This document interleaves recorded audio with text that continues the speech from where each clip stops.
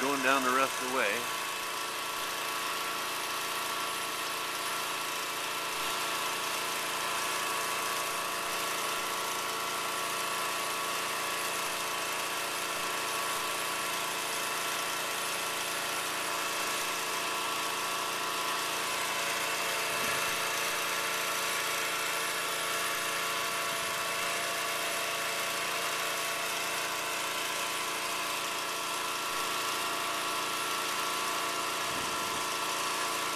Like the sun's about to come through.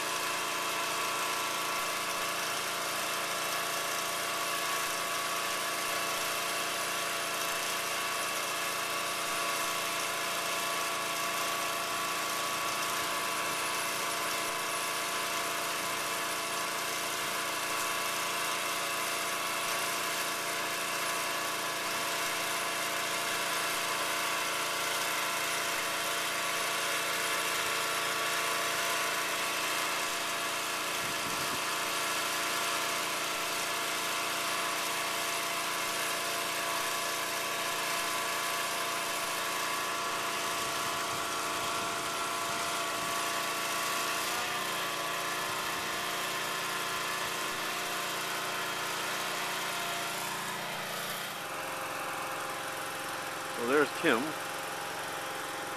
Got the tower splayed out like that, and kind of kind of a victory signal. These fellas over here are going to hold back. They're going to pull it down. And this guy over here is loosening the lines. See if I can get a little closer to him. We're standing right by the one of the irrigation pipes. Run alongside here that Mike used to irrigate this piece of ground, but it doesn't look like it's done very well since he's left. You have to call this, but people have been driving around on I guess is, is uh, there's where the old sagebrush and greasewood was, and where this grass was.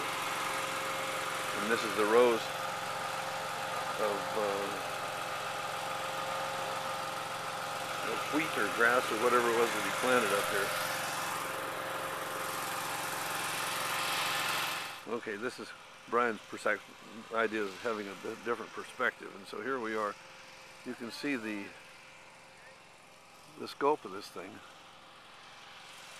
I'll look down a little closer to see the the manager or the captain of the ship. It looks like a mast on a great ship, actually. They, maybe that's the way they operate them in the Navy. What they have back in the old Navy, I guess. Uh,